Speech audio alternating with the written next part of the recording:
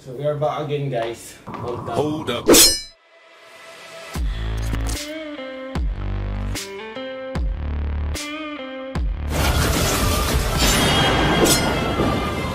So today, mapakita ko sa inyo pa ako. Kailangan ko lang ibabad ulit to sa yelo na may tubig. So, ibababad ko siya sa yelo na may tubig. Guys, nagagalaw ko lahat ha. Like, nagagalaw ko to nagagalaw ko na. Nagagalaw ko na siya, hindi katulad kahapon. Tapos, pwede ko nang ipantapak to. Pero pag pinatapak ko itong buong pa ako, sumasakit. Bili bilis lang din gumaling kasi ang ginawa namin guys, yung mga di ko pinahilot, okay? Ang technique kasi dito guys, wag mo ipapahilot yung mga ganito.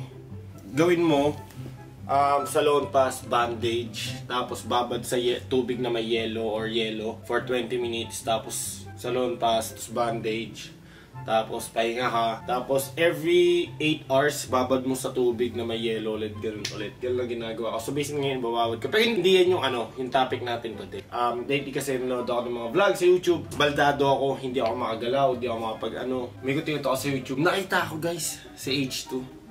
Pati si Renny J, pinapalipat ni Zapno sa kanila. Kupal yun ah. Kupal ah. Pero yun nga guys, tarang. Tatawagin ko muna si Doming. Tapos, bababad ko to. Papakita ko sa inyo yung proseso, okay? Pag, pag, if ever na, gan- pag naganto kayo, alam niyo yung gagawin.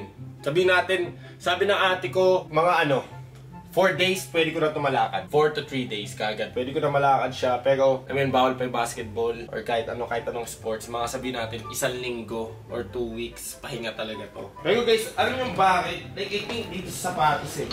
Dito sa sapatos na to na aksidente. Wala siyang masyadong support guys. Dito. Sa sapatos na to. It, ito yung dahilan bakit. Kasi kung titignan nyo dito guys. Okay. Ay, wala na pala ata naman itong mga box natin. And shoutout nga pala Jace kay Mika. Louis Vuitton, thank you so much. Wala na na ito guys sa Philippines. I mean, meron pa, pero wala na yung size ko. Nagpabili ako sa kanya nung umuwi siya sa US. Babayaran pa pala natin to, baby. Kunin mo na lang cash dyan. Bigyan mo kay Mika, but mo pagka dumaan siya dito. Ah, eto guys. Itong Louis Vuitton na to na chinelas. Okay, tapos na yung botohan. Okay, pwede na ako mag-pink. Please lang.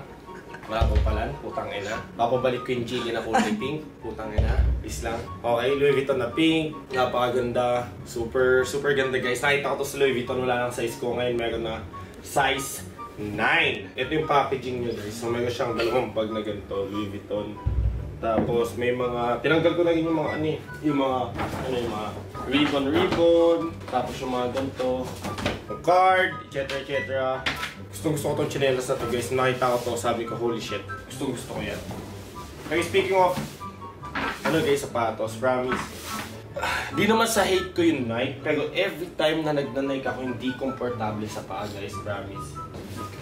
May laman. Pero tingnan nyo kasi dito, ito may laman to.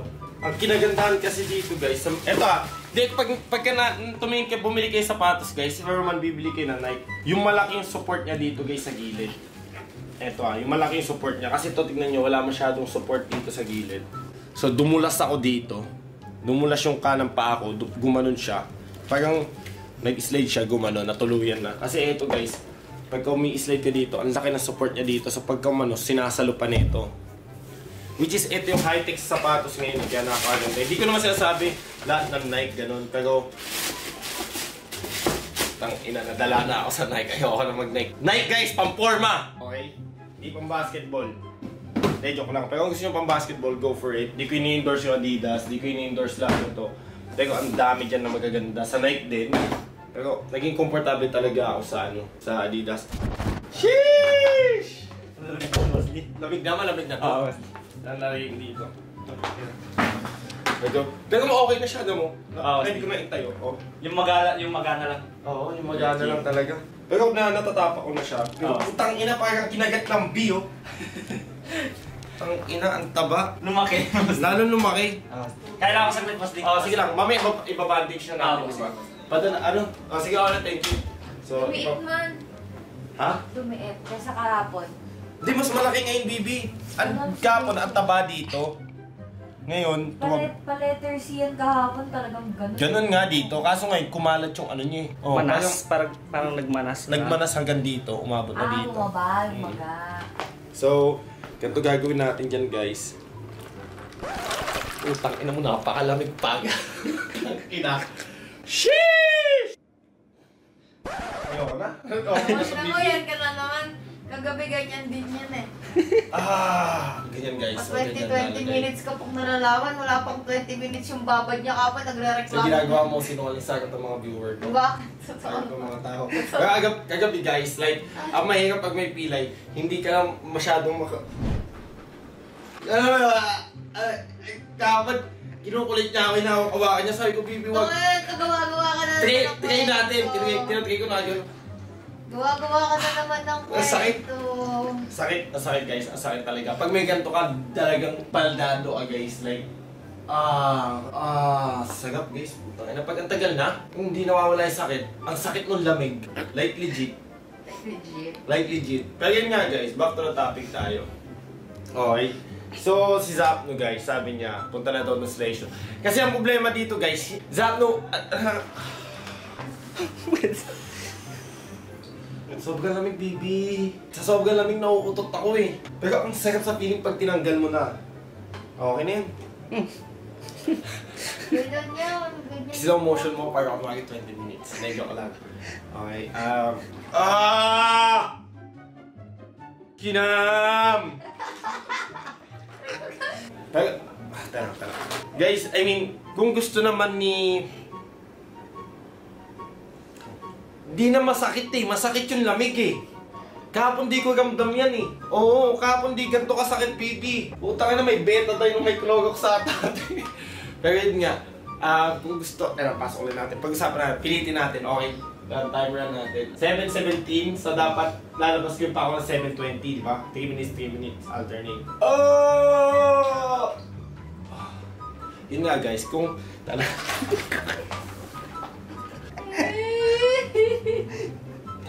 Dapat ganito ang sakit ng lamig. 7.18 na. Sabi pa tayong 2 minutes. Okay. Guys, kung gustong ano, kung gustong ano, ano you know what's up? No, bilhin mo na sa H2 pati sa Serenity. May freebie naman na kasama eh. Buy 2, take 1 kasama si Zico. Siya! Ah! Putang ina, di pa 1 minute yun. Ba't ganon ang sakit kahapon, di ganito kasakit? Si Renny J H2, so kinausap ko si Renny J. I mean, open naman siya. If may gustong bumili sa kanya, open naman. Okay lang naman daw. Okay. oh. I mean, kasi ganito yan guys, kung gusto ni Zap nung kunin si H2 si Renny J, hindi, wala kasing choice eh. Wala kasing choice si, si Renny J pati si H2. Kaya din ako, wala akong magagawa if ever man naibenta sila ni Next Play. So kung gusto nilang lumipat, kung kinakausap na ng Smart Omega ngayon, I think masasabi na sa akin, hanggang ngayon wala pang information. Pero may kumausap ng ibang team Renny J, para sa ano, And tinatanong ko si MJ kung gusto niya, sabi niya sa kanya, okay lang naman daw. Kung ano naman yung decision ng team or ng management, ayun talaga. So, ewan ko kung tuloy yung usapan nila. Si Dale kasi nakakaalam. Si Dale nakakaalam. Kay H2 guys, uh, meron din kumukuha. Sa totoo lang, meron din kumukuha. Hindi ko lang alam kung Smart Omega. Pero isa alam ko kung sino kumukuha sa kay Renny J. Ay bawal ko na sabihin talaga kasi, alam mo yun, privacy na yun. Pagkagalitan na naman ako ni na-explain na ito. Putang inang therapy to no, hirap man. Pero kailangan eh. Sa balat yan masakit. Sa balat nga masakit eh. Pero habang tumatagal, nawawala. Pero habang tumatagal, namamanhid. Tapos habang tumatagal yung manhid, napakasakit. Tapos habang tumatagal, inalabas ko na. Putang ina, sakit. man. 20 minutes nakababad ng ganon? Tanginay! Ba ibabad nyo kaya? Babad mo pa mo dito 20 minutes kaya? Gawin mo! Matapang ka, di ba? Gawin mo! Masipin nyo guys, pilay na ako. Hindi man lang ako lalamig. AJ. Kung kapal ang mukha mo, pinaliguan kita kagabi. Ako nagbihis eh. Gusto, gusto mo naman. Diba sabi ko niya, hello. Hindi. Guys, ah... Tuwa siya sa totoo eh, legit. Hindi, pero yun nga guys. Um, hindi ganito. Kasi na- nadidistract tayo eh. Nadidistract tayo dito. eh. Nadidistract tayo. Okay. Didistract tayo. Papabad ko ulit. Tapos tuloy na yung conversation natin. So, yun nga. Kay Renny J, pati kay H2, if ever man na may contact, sasabihin sa akin. Pero alam kay Renny J, al- alam ko kung anong team. Bawal ko lang talaga sabihin. Kay H2, ah, meron din isang team, pero bawal ko din sabihin kasi hindi ko alam. Kausap ni Next Play. in the end of the day, decision ng dalawang bata, wala na sa akin decision. Decision nila, pero hindi magmamatter decision nila. Hindi magmamatter talaga yung decision ng player. Hindi magmamatter sabi ni Isho, ayoko pa lumipat, boss, di ayoko pa lumipat. Dale, sabi ni Genji, ayoko lumipat. Wala magagawa eh, kasi na na-assign sila ng kontrata eh. Sa tingin ko dito kay Zapno, kung gusto niya talaga si H2 Renege or pinapalipan niya si H2 Renege, pampahype lang. I think, kausapin niya yung management on that side para malaman niya at malaman, ano mo yun, kung may trade ba magaganap o may buyout ba magaganap. Pero sa ngayon guys, um, tuloy yung tournament namin sa MDL. Ayun yung may bibigay kong information sa inyo. So kung gusto nyo maging MDL player or nasa dito kayo sa next play, i-announce na namin by next week or in 2 weeks. So gusto nyo mag-MDL para mapasok kayo sa pro scene. Kasi I think 90% tuloy na ang MDL sa season 10. 10% na hindi natutuloy. So, pag hindi ito natuloy, 90% na ibabash nyo ako. Okay. yeah, pero yun nga guys, um, pero itatry namin yung best namin kasi kung magka-MDL, bibigyan namin ng tsansa yung mga tao sa labas. For example, yung mga amateur team na gusto mag-MDL. Shit, ang tagal na nito. Pag di mo na nararamdaman, mas maganda yun, mas Di, pag di mo ginagalaw pala. Kasi kanina galaw ako ng galaw eh. Alam mo yun? Pag yun nga guys, ah, gusto namin magka-chance yung amateur team na makapasok sa MDL. Ibang amateur team.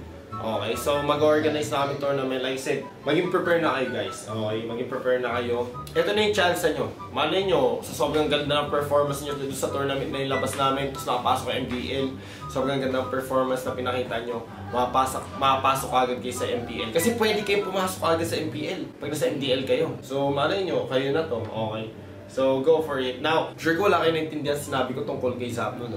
Sumasakit talaga yung pa ako eh. Pero yun nga, guys. Update naman sa CODM, mamaya balik tayo sa Update naman sa CODM, guys. Titingnan ko pa yung esports program nila. Kasi sa ngayon nakita ko wala. Like, legit sa sa sa Battle Royale nila, wala. Pero sa MP map nila, meron, malaki. Maganda. So, titingnan natin doon, discussion yon. Sa PUBG, na, nakita ko na yung esports nila. Malaking ilalabas nila this coming year. So, abangan nyo yung PUBG Mobile. So, kung, kung mahilig kayo sa esports scene, PUBG Mobile, ito yung ilalabas nila yon. Tapos, sa Wild Rift naman, baka itatry ko, hintayin nyo, baka i-stream ko yung Wild Rift. Baka gumawa ulit tayo ng pro team sa Wild Rift, kung makakaya.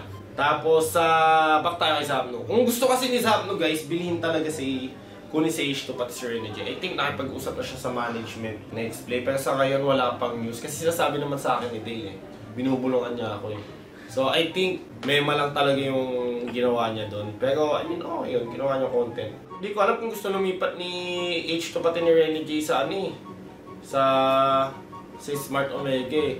Pero, either or, kung saan man sila lumipat, kunyari, kung saan man sila na buyout, masaya pa rin ako kay H2 pati kay Renny J. Kasi kailangan nila to eh, alam mo yun. Kaya sabi ko nga sa kanila eh na kailangan yung mag-grow kailangan nyo i-testing yung ibang company para makita nyo kung saan nyo natitipuhan yung nat natitipuhan yung pwesto, ah, sitwasyon, lugar, kung saan natitipuhan yung mag-stay na company. Kasi malaki pa yung ano ba, bata pa sila guys, bata pa si Renegade sa H2. Ah, yun guys. Ah, ayun masabi ko. Pero sa ngayon guys talaga, do sa, napanood ko sa YouTube ni ni, ni Billy na sa H2 pa Renegade lipat na daw, sa H2 lipat na kasal. Sa, sa wala pa talaga discussion. I think, pa-hype yun. Pero, I mean, it's working, working. Pero kung gusto talaga nila, I think na, na, na nakausap nila yung management. Pero sa ngayon guys, wala pa talaga concrete plan kasi malayo pa yung ano, season 10 para sa MPL. So wala pa talagang concrete plan. Hindi ko alam kung sino yung mawawala, sino yung papasok, sino yung bago. Pero, yun nga, open for buyout talaga si Rene J, H2, and Zico. Open sila for buyout. Ayun yung naka ano dito guys, naka, nakalapag. Kasi may may gusto din, parang si Next parang gusto mag-reset pagkalipat sa Pangasinan. Alam niyo yun? Parang may gusto siyang gawin. May may plano siya for that time and process. Pero hindi ko pa alam, hindi ko pwedeng sabihin sa inyo. So, yun guys, that's it.